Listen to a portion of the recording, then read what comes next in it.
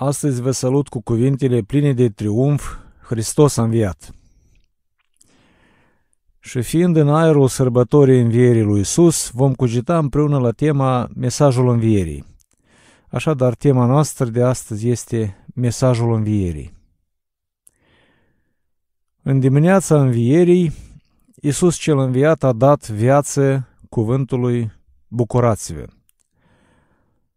Acest mesaj al cerului îl citim la Evanghelie după Matei, capitolul 28, versetele 8 și 9. Iată ce scrie aici. Ele au plecat repede de la mormânt cu frică și cu mare bucurie și au alergat să dea de veste ucenicilor lui. Dar iată că le-a întâmpinat Iisus și le-a zis, bucurați-vă! Ele s-au apropiat să-i cuprindă picioarele și i s-au închinat. Cuvântul Domnului Iisus din textul acesta, cuvântul bucurați-vă, vine ca o poruncă. Mă gândesc că cei care l-au urmat pe Iisus de aproape erau cuprinși de o stare de nedumerire de trei zile încoace. Și pentru ei cuvântul bucurați-vă, care sună ca o poruncă, este o readucere în realitatea cerului. E adevărat că ucenicii la momentul acesta încă n-au intrat în acest triumf al cerului, dar asta se va întâmpla foarte curând. Ca să putem culege anumite gânduri biblice la tema aceasta, la mesajul învierii, e bine să ne aducem aminte despre amarul Paștelui. Și lucrul acesta, în primul rând, îl putem vedea la Domnul Isus. Iată împrejurarea în care Isus s-a dat pe sine sau s-a dat ca jertă pentru răscumpărarea omenirii. În primul rând, dacă vorbim de amarul Paștelui, ne aducem aminte că Isus a avut 12 oameni aleși pentru lucrare și unul din acești 12 l-a trădat, chiar l-a trădat. Apoi ne aducem aminte că ceilalți 11 în cel mai greu moment l-au părăsit. Mai departe, cuvântul lui Dumnezeu spune că Tatăl l-a părăsit. Noi ne întrebăm cum vine lucrul acesta, adică că Dumnezeu Tatăl l-a părăsit pe Isus. Și iată ce citim în Biblie în privința aceasta la Evanghelie după Matei, capitolul 27, versetele 45 și 46. De la ceasul al șasea până la ceasul al nouălea s-a făcut întuneric peste toată țara. Și la ceasul al nouălea Iisus a strigat cu glas tare, Eli, Eli, la masă bactanii, adică Dumnezeul meu, Dumnezeul meu, pentru ce m-ai părăsit? Aici nu putem spune multe, dar un lucru care ne privește și pe noi se potrivește să-l citim în momentul acesta. Și anume, pe cel ce n-a cunoscut niciun păcat, el, adică Dumnezeu, l-a făcut păcat pentru noi. 2 Corinteni 5, 21 Adică Dumnezeu Tatăl l-a părăsit pe Domnul Isus când era pe cruce, deoarece asupra lui Isus era păcatul omenirii. Iată asta în privința amarului Paștelui sau în privința la ceea ce a experimentat Domnul Isus. Și mai citim în cuvântul lui Dumnezeu despre ceea cum a trecut Domnul Iisus prin tot amarul acesta. Iată ce aflăm din Biblie de la Matei 26, versetele 38 și 39.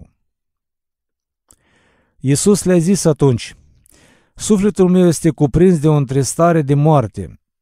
Rămâneți aici și vegheați împreună cu mine. Apoi, mers puțin mai înainte, a căzut cu fața la pământ și s-a rugat, zicând, Tată, dacă este cu putință, departează de la mine paharul acesta. Totuși nu cum voiesc eu, ci cum voiești tu. Ce putem să adăugăm aici? Nimeni din oameni n-a experimentat ce înseamnă să fie părăsit de Dumnezeu, așa cum a experimentat Domnul Iisus lucrul acesta. De fapt, noi nu vom înțelege pe deplin calvarul prin care a trecut Domnul Isus, niciodată nu vom înțelege lucrul acesta. dar puținul care îl cunoaștem ne este de ajuns ca să fim recunoscători față de răscumpărătorul nostru, față de Domnul Isus. Așadar, cugetând la tema aceasta despre amarul Paștelor și despre ceea ce a suferit Domnul Isus și cum a trecut El prin asta, eu ar vrea să adăugăm încă ceva aici, și anume să vedem cum a reacționat omenirea cât privește oamenii. Aici am putea să spunem următoarele. Evanghelia după Ioan, capitolul 1, versetul 11, acolo spune că el, adică Iisus, a venit la ei săi și ai săi nu l-au primit. E foarte neplăcut să citești lucrul acesta și totuși așa spune cuvântul lui Dumnezeu că omenirea nu l-a primit. Apoi ne aduce o aminte despre cei aleși de Hristos care au avut o sincopă, cum zicem noi după termenul muzical, i-au avut o stare de nedumerire de joi până duminică, până a înviat Hristos și atunci cu greu și-a revenit. Toate acestea le culegem ca învățătură pentru noi din aceea cum au procedat oamenii, chiar cei mai aleși. Și toate acestea au adăugat la amarul Paștelui, sau mai bine zis, l-au afectat pe Domnul Isus ca cel care trebuie să treacă acest drum și să-și dea viața ca preț de răscumpărare. Și eu aș vrea ca aici să facem loc la o cântare, cântarea din Razele Cerului cu numărul 138, strofa 2, cuvintele din strofa aceasta arată clar sau cât se poate declar durerea Domnului Isus sau amarul lui. Iată ce spune aici. Tu în trup porți durere și chinul amar, cât de grea și grozavă teroare. Dar când știi că la mulți jertva ta e în zadar, mult mai mult decât toate te doare. Și dacă mergem mai departe în cugetările noastre și cu referire la mesajul învierii sau ce putem spune despre asta, ce mesaj ne aduce învierea Domnului Iisus, și eu mă observ pe mine că cugetând așa, iarăși privirea noastră este țintită în primul rând asupra Domnului Iisus cel înviat. Așadar, Domnul Iisus este sursa vieții sau Domnul vieții și este foarte frumos să citim în Biblie despre ce că în El era viața 1 Ioan 1.4, Iisus Hristos avea viața în sine. Iar mai departe, tot la Evanghelie după Ioan, capitolul 10, versetele 17 și 18, aici citim următoarele cuvinte minunate. Domnul Iisus spune așa, Tatăl mă iubește pentru că îmi dau viața ca iarăși să o iau. Nimeni nu mi-o ia cu silă, ci o dau eu de la mine. Am putere să o dau și am putere să o iau iarăși. Aceasta este porunca pe care am primit-o de la tatăl meu. Din cele citite aici, deducem că Domnul Iisus, și dându-și viața, și reluând-o iarăși înapoi, a dovedit că El este Domnul vieții. Iar realitatea aceasta are o reflexie binecuvântată asupra noastră și anume, prin El trăim și noi, așa cum spune Biblia la Ioan 14-19. Așadar, privirea noastră este îndreptată la Domnul Iisus, fiindcă El este Domnul vieții, și asta în mod minunat se reflectă și asupra noastră copiii săi. Despre Domnul Isus mai putem adăuga aici, conform cuvântului, că prin el s-a făcut împăcarea universală. Lucrul acesta este arătat clar în locul din Biblie la Coloseni, capitolul 1, versetele 19 și 21. Aici citim următoarele cuvinte căci Dumnezeu a vrut ca toată plinătatea să locuiască în El și să împace totul cu sine prin El, atât ce este pe pământ cât și ce este în ceruri, făcând pace prin sângele crucii Lui. Și pe voi care odinioară erați străini și vrăjmași prin gândurile și prin faptele voastre rele, El v-a împăcat acum. Când zicem că prin Hristos Dumnezeu a împăcat totul cu sine, Asta înseamnă că orice lucru care își aștepta dezlegarea a fost dezlegat și a fost aranjat în mod desăvârșit după voia lui Dumnezeu. Noi nu știm amănuntele acestei stări, ce înseamnă de fapt că Dumnezeu, prin Domnul Iisus, a împăcat toate lucrurile cu sine, dar credem cuvântul acesta și înțelegem că împăcarea Domnului Iisus sau prin lucrarea de jertfire a trupului său s-a făcut o împăcare universală și toate lucrurile și-au fost așezate la locul lor. Glorie lui Dumnezeu pentru aceasta. Cugetând la mesajul învierii, cred că este bine și corect să ne aducem aminte ce a însemnat asta și pentru apropiații Domnului Isus, pentru cei care au fost aleși. Noi am adus aminte despre ce că ei au fost într-o sincopă sau într-o stare de nedumerire de trei zile încoace, dar iată a răsărit soarele și în dreptul lor, adică ei au fost readuși într-o stare după voia lui Dumnezeu. Acum, ce s-a întâmplat cu ei sau ce experiență au avut ei după ce Hristos a înviat? Noi putem spune cu siguranță că ei au fost readuși înapoi la comuniunea cu Domnul Isus sau la părtășia cu Domnul Isus, cum a fost și mai înainte. Apoi, un lucru foarte încurajator pentru noi că ei au fost readuși la Sfintele Scripturi, așa cum citim în Evanghelie după Luca, capitolul 24, versetul 27. În textul acesta biblic citim următoarele cuvinte.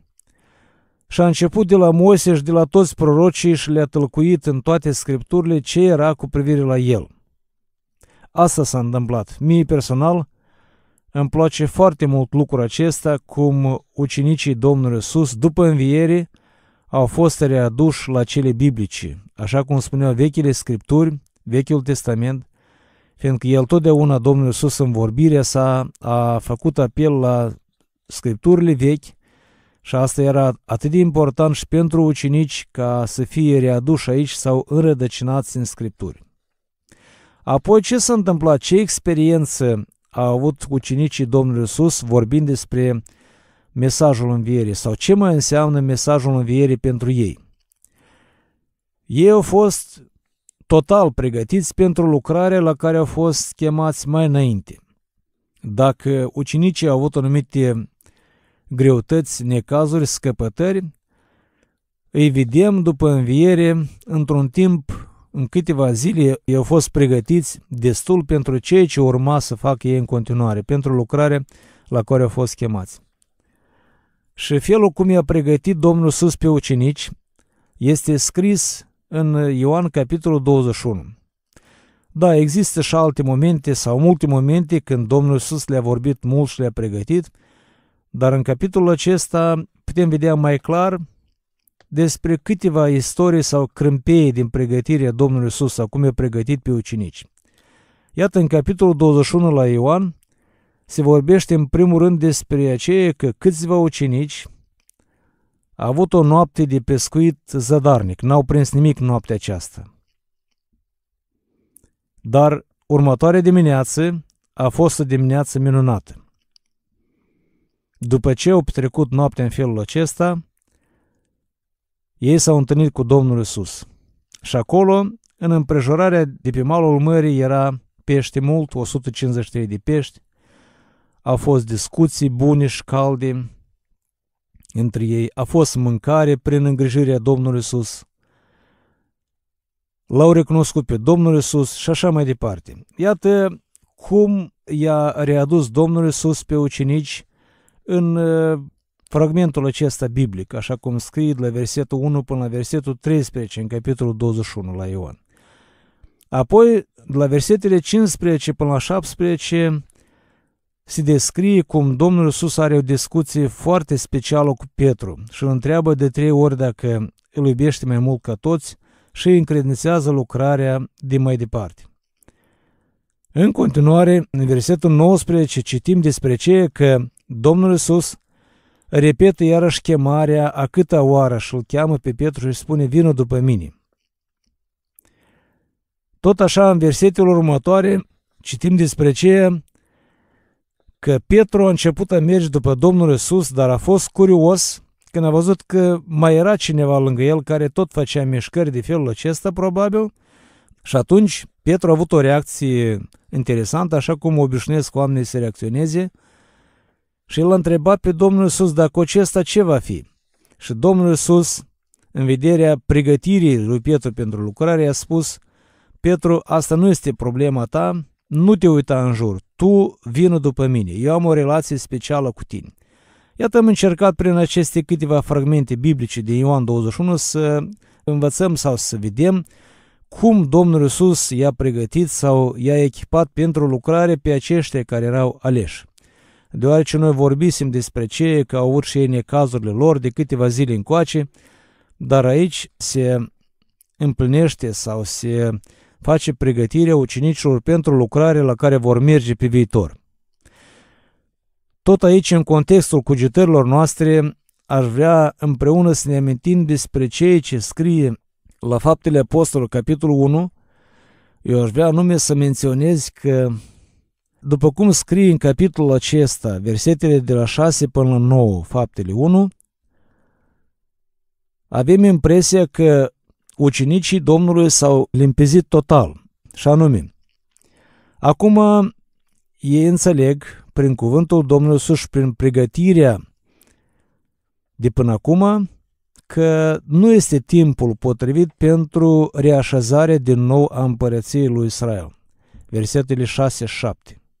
Fiindcă ei au avut niște așteptări, ei așteptau ca împărăția lui Israel să fie așezată sau reașezată și acum pentru ei este clar că nu este timpul pentru așa ceva. Asta ei au înțeles sau s-au limpezit. Următorul lucru care înțeleg ei acum sau sunt convinși este că ei vor primi o putere și vor fi misionari până la marginea pământului, versetul 8. Dacă mai înainte ei aveau alte așteptări și alte orientări în lucrarea lor, acum pentru ei este clar, după cuvântul Domnului Iisus, că urmează nu mult timp și ei vor pleca până la marginea pământului să vestească Evanghelia. Și mie îmi place foarte mult să observăm următorul moment sau ce se întâmplă în următorul moment. După ce ucenicii au fost în ultimul moment al lucrării Domnului Iisus pregătiți pentru lucrare, cum ne se pare din textul acesta sau din capitolul acesta, că ei în sfârșit sunt pregătiți, în momentul acesta Iisus este înălțat la cer. Iisus pleacă la cer, versetul 9. Și am putea să facem concluzia că da, e adevărat că ucenicii nu atât de ușor au fost pregătiți pentru lucrare, pentru că aveau și ei orientările lor, dar aici se vede că totuși ei au ajuns la această stare bună pentru ca să fie pregătiți sau pentru ca să plece să predice Evanghelie. Iată câteva lucruri care vorbesc despre mesajul învierii sau la tema aceasta acestea veștile bune sau cei ce ne înviorează pe noi. Dar ar vrea în cugetările noastre de astăzi să vedem dacă este o veste bună, dacă este un mesaj bun datorită învierii Domnului Iisus pentru cei păcătoși. Când zic păcătoși, nu mă gândesc la niște oameni cu aspect negativ sau cu o atitudine negativă. Mă gândesc la oamenii care încă nu sunt împăcați cu Dumnezeu încă nu s-au pocăit, nu au mărturisit păcatele lor, nu s-au apropiat de Dumnezeu. La asta mă gândesc. Și dacă ne întrebăm dacă există un mesaj încurajator pentru păcătoși, aș vrea să zic că cuvintele Domnului Iisus care le spune El, veniți la mine din Matei 11, 28, ele au fost totdeauna valabile până la revenirea Domnului Iisus, până vom pleca la cer. Adică oricine încă nu este împăcat cu Dumnezeu, are un mesaj venit din cer care spune veniți la mine.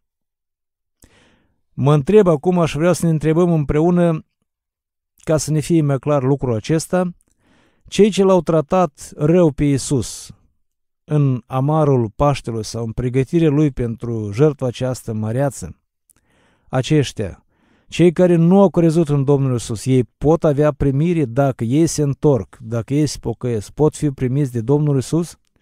Eu aș vrea ca la întrebarea aceasta să răspundem fiecare, dar se pare că răspunsul este clar. Asta este vestea bună pentru cei care încă nu sunt împăcați cu Dumnezeu. Adaos la asta aș vrea să zic că după învierea Domnului Iisus nu s-a întâmplat nimic extraordinar în privința păcătoșilor. Toți păcătoșii care l-au tratat rău, care n-au crezut, care au contribuit la a spune minciuni că Hristos n-a înviat de morți și așa mai departe, toți aceștia sunt lăsați în liniște și ei acum, după învierea Domnului Iisus, pot să-și revină și vreau să cred că mulți și-au revenit pentru că scrie într-un loc în faptele apostol că o mare mulțime de preoți veneau la credință. Așadar, îndrăznim să zicem că păcătoșii au șanse sau este o veste bună și pentru ei, că ei sunt așteptați și sunt primiți la cer prin pocăință și prin recunoaștere înainte lui Dumnezeu. Și vorbind despre asta, vreau să aplicăm aici două exemple biblice care sunt cunoscute, sunt foarte cunoscute pentru toți cititorii Bibliei, așa nume cum primește Dumnezeu pe oameni. Ioan capitolul 8, versetele 10 și 11, aici avem o istorie despre o femeie care a fost adusă în prezența Domnului Isus. Era o femeie care trebuia omorâtă sau trebuia sândită la moarte după legea Vechiului Testament. Ca să nu vorbim multe amănunte la aceasta, vreau să ne axăm atenția noastră numai pe ultimul moment. Când a rămas Domnul Isus singur cu femeia aceasta, a ridicat ochii și a întrebat-o, unde sunt părâșii tăi? Nimeni nu te-a osândit? Ea a răspuns, nimeni, Doamne. Și atunci Iisus i-a spus, nici eu nu te osândesc. Du-te și nu mai păcătuiești. Iată cum primește Dumnezeu pe oamenii care își recunosc păcătoșenia și vin în prezența lui Dumnezeu. Eu nu te osândesc. Sau exemplu următor la Luca 23, versetele 42 și 43, Aici e istoria tălharului care era răstignit alături de Domnul Isus. Și într-un moment tălharul acesta a zis câteva cuvinte. El a zis așa, Doamne, adu-ți aminte de mine când vei veni în împărăția ta.